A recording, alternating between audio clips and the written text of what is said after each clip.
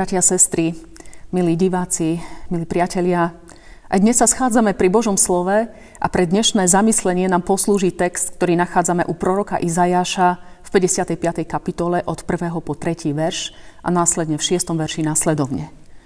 O všetci smední, poďte k vode, poďte i vy, ktorí nemáte peňazí, bez platenia víno a mlieko.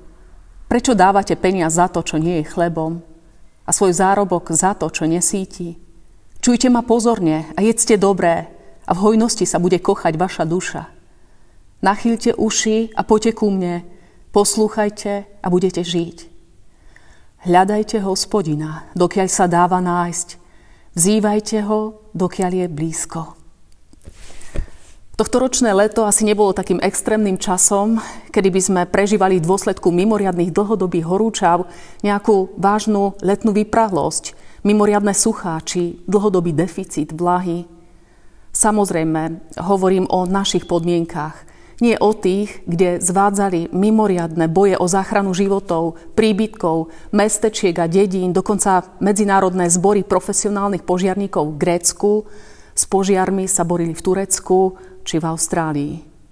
Aj keď sme si pri potulkách prírodov pozorovali z času na čas v zemi trhliny zo sucha, nebol tento rok, nebolo to tento rok nič dramatické a donedávna o tom svedčili krásne a žírne lány obilia, kukurice či repky, ktoré sa prejavili aj v pekných výnosoch poľnohospodárov. Napriek tomu, že teploty boli priaznivé, každoročne nás to ťahá ku vode.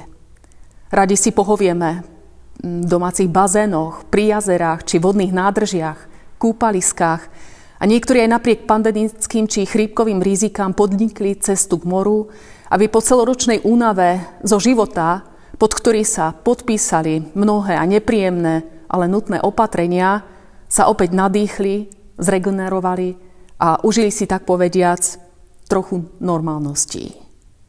Tento rok bol však mimoriadne extrémny na zrážky v určitých regiónoch Európy a to do tej miery, že si vyžiadal daň na životoch, konkrétne v Nemecku, viac ako 180 obetí, taktiež ďalšie v susedných krajinách v Belgicku, Holandsku, Luxembursku a časti Francúzska. Takže ak sa v týchto a ďalších regiónoch hovorí o vode, spájajú sa s tým skôr nepríjemné asociácie, spomienky, ako vyslovene túžba. Ak hovoríme dnes o smede a cene vody, tak africké krajiny by nám o tom vedeli podať komplexné štúdie či analýzy. Ale nás dnes biblický text posúva k tomu, aby sme hovorili o duchovnom smede, lebo ten sa, či si to uvedomujeme alebo nie, dotýka každého z nás. Duchovný smed, duchovná vyprahlosť, respektíve prebývanie pri vodných tokoch, ako o ňom píše žalmista prvého žalmu, totiž ovplyvňujú, v akom svetle vidíme svoje osobné zápasy a deje, v akom nastavení vstupujeme a vkladáme sa do vzťahov, respektíve z nich utekáme, prcháme. Vy, ktorí možno sledujete toto zamyslenie, čo vás napadne ako prvé, po čo si pôjdete, keď vás zachváti taký praobyčajný fyzický smet? Akým spôsobom ho zvyčajne zaženiete?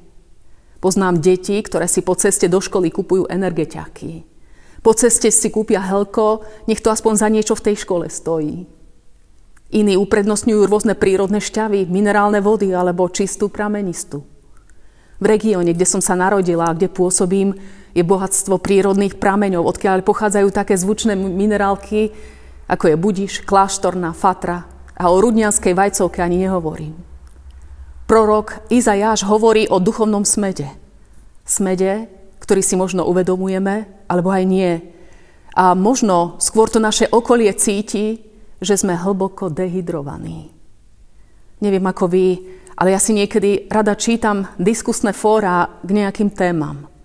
Obzvlášť tie, ktoré sa zaoberajú vierou Boha a pôsobením církvy v spoločnosti.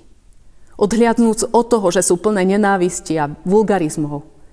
Nie, to je sa, samozrejme to, čo sa mi na nich páči, sú tam aj také trefné a výstižné vyjadrenia, aj plné rešpektu, aj férovosti k oponentovi, aj snahy obrániť Pána Boha a církev, aj keď Pán Boh má silnejšie a účinnejšie argumenty, ako si obhájiť svoju vec.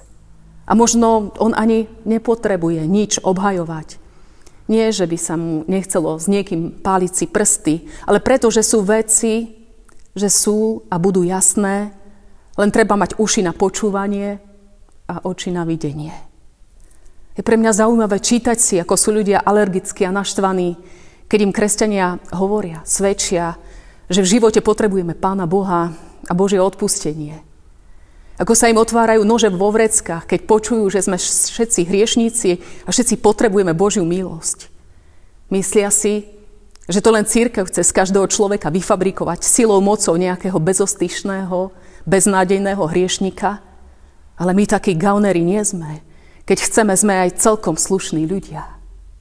To len tá tmárska, skorumpovaná, pedofilná církev má tú tendenciu ľudí manipulovať a sugerovať im niečo, čo je fake, hlboký omyl. Nech je tomu ako chce, ten, ktorý je náš stvoriteľ, náš tvorca, ohľadne našich vnútorných potrieb hovorí. Všetci smední, poďte k vode. Poďte aj vy, ktorí nemáte peňazí.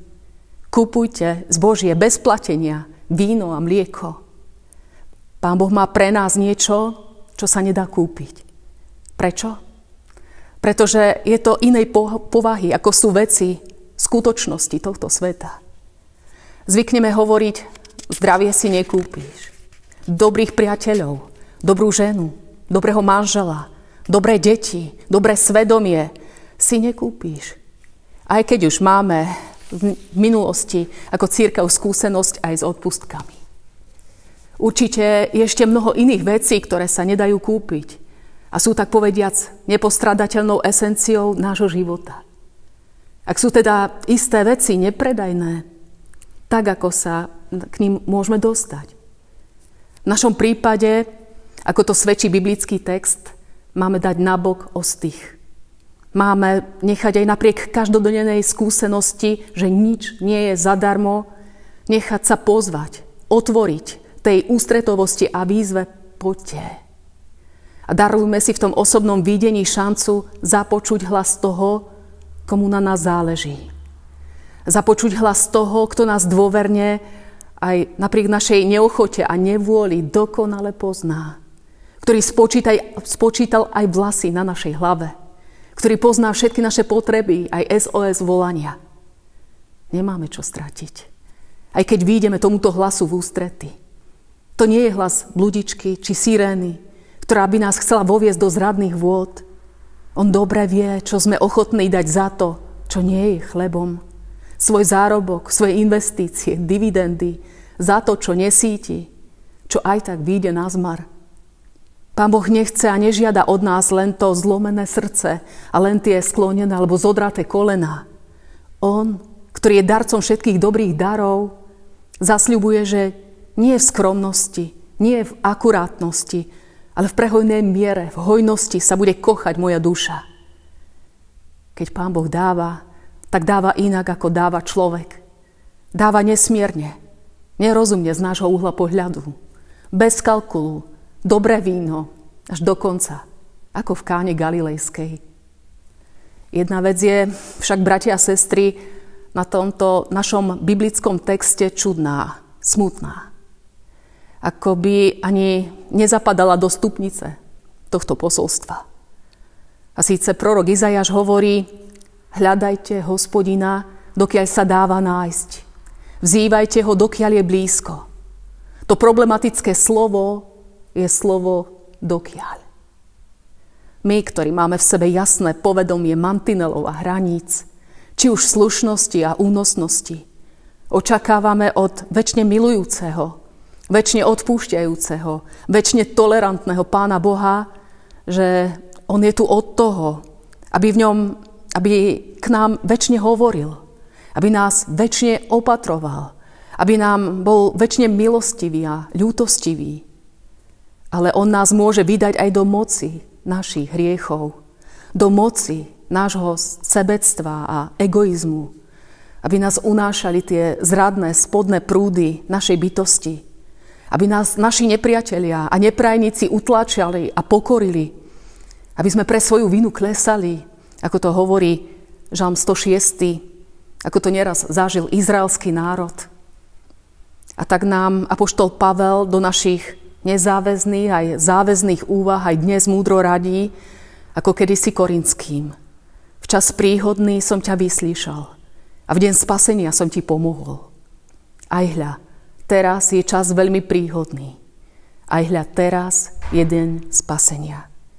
Keď ho, bratia a sestry, milí poslucháči, neprepasieme, nepremárnime. Amen.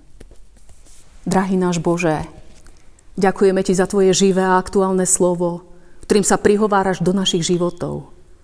Ďakujeme Ti, že Ty poznáš životnú situáciu každého z nás a chceš nás privádzať ku žriedlu čistej, nekontaminovanej vody. Ďakujeme Ti, že Ty chceš obnovovať a osviežovať naše vnútorné sily, aby sme stáli vo svojom povolaní nie ako nejaké horké korene, ako trpký vinič, ale nádoby, ktoré aj iným poskytnú vodu a osviežia v čase núdze či akejkoľvek suchoty. Daj nám tú odvahu a múdrosť vidieť, že ešte dnes je pre nás dňom milosti. Daj nám tiež pochopiť, že aj Tvoja milosť má svoje hranice, lebo to nie je lacná milosť.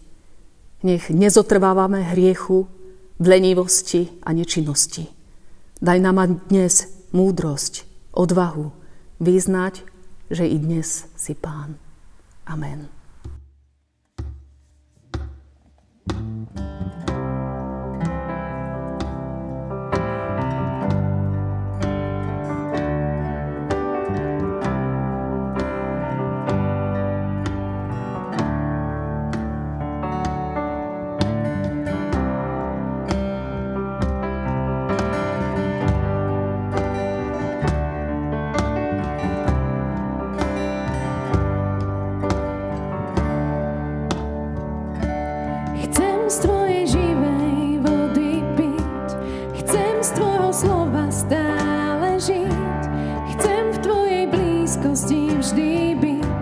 Bitsy Moore.